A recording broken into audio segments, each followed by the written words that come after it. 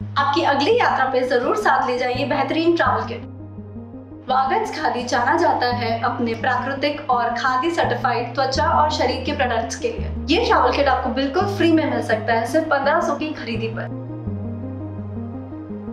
तो आज ही वागंज खादी डॉट कॉम पर जाए और इसे अपने नेक्स्ट ट्रैवल एडवेंचर पे लेके जाए।